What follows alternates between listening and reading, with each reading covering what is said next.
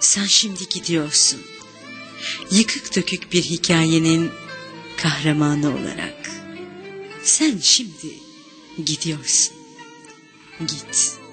Sana yazılacak asırlarca şiirim varken sen kelimelerimi valizine toplayıp şehirler boyu terk ediyorsun kendini.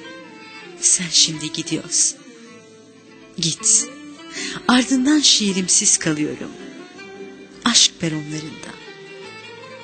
Satırlarımı sürüklüyorlar adım attığım yerlerde.